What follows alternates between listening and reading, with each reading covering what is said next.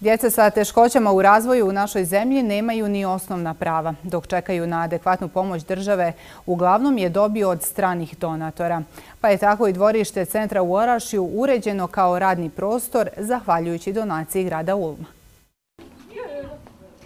Članovi udruge osoba s poteškoćama u razvoju put u život iz Orašja dobili su nove prostorije. Useljenjem u adekvatan prostor koji mnogo znači, kvalitetno je poboljšana njihova svakodnevnost. Ovog proljeća uređeno im je i dvorište što su doživjeli kao neprocijenjivi dar. Do sada je to bilo jako teško zato što ovuda prolaze i auti, mi nismo imali ograde, djeca su bila zatvorena unutra jer se nismo mogli jednostavno ovaj organizirati u smislu da izađemo vani, ali sad kao što vidite kada je ova ograda i ovo prelijepo vrijeme, svaki dan smo vani. Ovu pomoć i promjenu najviše su iščekivali oni kojima će i najviše koristiti. Sad kako je proljeće došlo, mi smo svaki dan sa nastavnikom jedom na polju, sa čekarinom, teta Rušicom, teta Haran, znači svaki dan smo na polju. Super nam je, imamo više prostora, možemo se družiti i izaći na polje. Ljepše je vani, zato što mogu igrati nogomet, a i volim nogomet i volim svoje rukavice nogometne. Uz sredstva za ograđivanje i uređenje dvorišta, donatori su darovali i invalidska kolica i psihosenzorska pomagala za djecu